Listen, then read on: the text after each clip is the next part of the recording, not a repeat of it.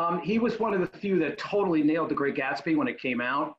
Uh, one of the things uh, he, he write, wrote uh, about it when it came out was certain ra- racehorses run for the pure joy of running. Uh, and the author of The Beautiful and Damned and Tales of the Ag- uh, um, Jazz Age is such uh, an animal. Um, he talks about um, not a contemporary American senses as thoroughly as he in every fiber the tempo of privileged post adolescent uh, America. So he absolutely nailed um, Fitzgerald. During his lifetime, only a handful of serious critics conscientiously debated Fitzgerald's um, artistic development, although they were quick to point out his weaknesses.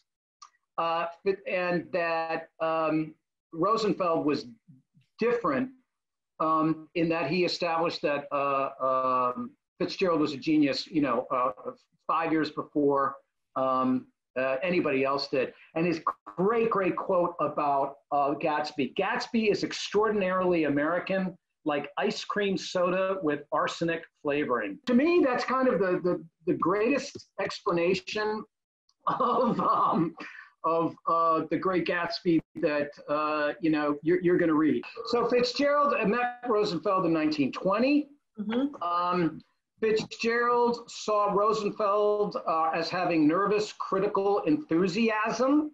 Rosenfeld wrote, wrote in his essay in 1925 about Fitzgerald, not a contemporary American senses as thoroughly in every fiber of the tempo of privileged post-adolescent America, of that life in all its great hardness and equally curious softness, its external clatter, movement, and boldness, he is a part.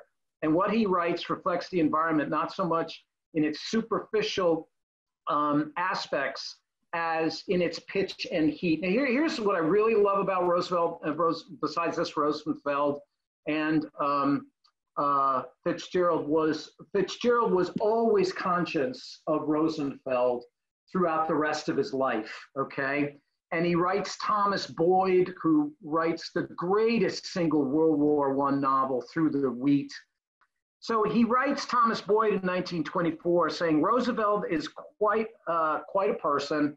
And later, when Fitzgerald was in his real dumps in 1932, he wrote to um, Cary Ross saying, My warm regards to Paul Rosenfeld, who probably won't remember me.